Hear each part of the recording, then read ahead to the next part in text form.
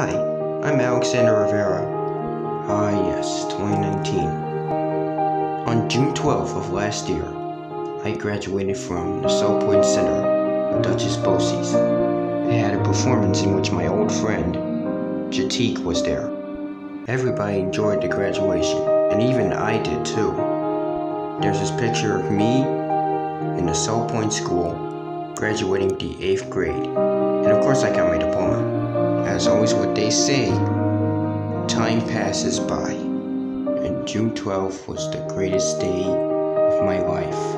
Man, I'm gonna miss that school. The Alexander Network. Thank you for watching with me tonight.